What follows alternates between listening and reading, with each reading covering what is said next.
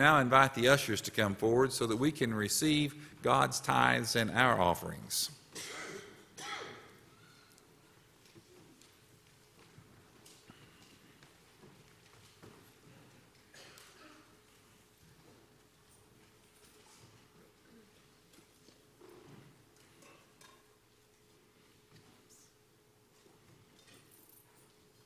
May we pray? Most gracious and most holy God, thank you so much for blessing us and allowing us to have this opportunity to worship you through these tithes and offerings that we present. Take them and use them in a way that glorifies your kingdom.